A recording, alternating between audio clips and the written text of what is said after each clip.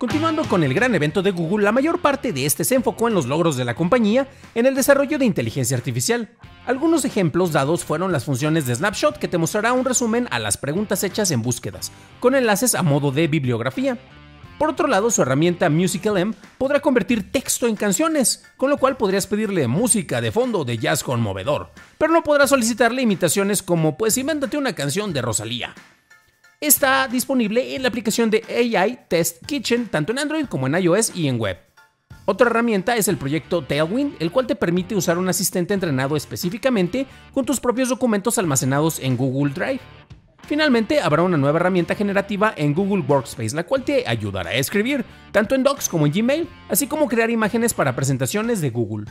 Para este más noticias, escucha todos los días el podcast de Noticias de Tecnología Express, disponible en Apple Podcasts, Spotify, Acast y en cualquier lugar en donde se escuchen podcasts.